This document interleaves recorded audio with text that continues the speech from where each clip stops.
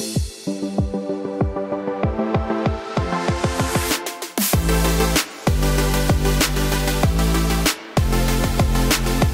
who it is, it's Alex coming at you guys with another video. Now H2O Wireless supports eSIM. Let's see when it slides up.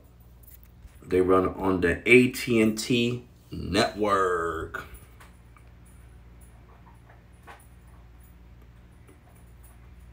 Unlimited plans, let's see if it slides.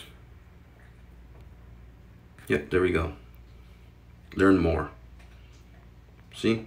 Now they support eSIM. If you guys want to pause and read this, I'm not going to go through this. But now H2O Wireless supports eSIM. How much can you pay? How can you see? Uh, let's see this real quick. It talks about the lowest prices. 229 for 120 8 gig SE, I guess third generation. 229. That's cheap. Not cheaper than Metro, but it's cheap. So yeah, I mean, let's go through the different gigs. 256 would be 329. So I'm guessing the 64 would be 429. That's just a given. No need to look through that. Uh, Let's see. So $20 for two gigs, $18 with auto pay. $27 a month with auto pay, $30 for six gigs. When you got auto pay, they take $3 away. Same thing here. This one's $6 less with auto pay. Pay 54 And you get a $20 international roaming credit. Yeah. For Canada and Mexico on this plan. So yeah, these are the, then it asks you select your car, current, current carrier.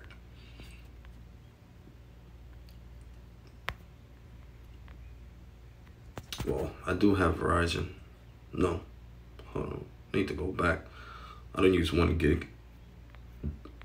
I use way more than one gig.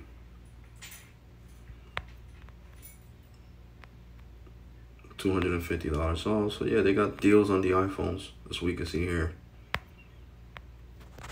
Let's see all phones. Let's see the deals on their phones. $49.99 for this. With the $60 plan, of course. At least they're up front. $99.99 with the $60 plan.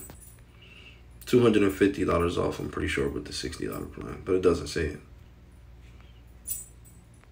Or you could finance them through Affirm. And this is eSIM right here.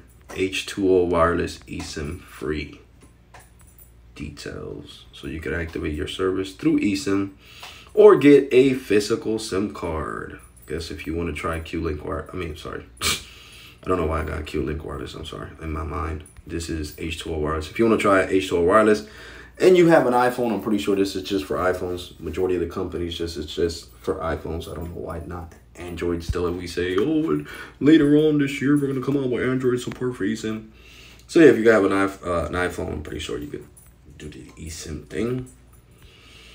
So yeah, guys, this was a quick video showing you the deals and uh, that now H2O Wireless uh, supports eSIM. So if you ever wanted to try out, you know, H2O Wireless, uh, you're more than welcome. They run on the AT&T network, guys. Remember that, the AT&T network. Okay, so $40 for 15 gigs, $36 for auto pay, $45 for unlimited, and $54 for unlimited. And then $63 for unlimited with auto pay, of course.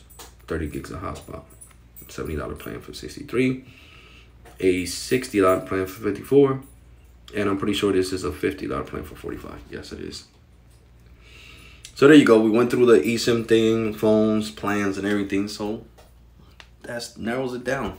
So like, comment, and subscribe, and I'm definitely to catch you guys on the next one. You all ready? And thank you for watching. Deuces.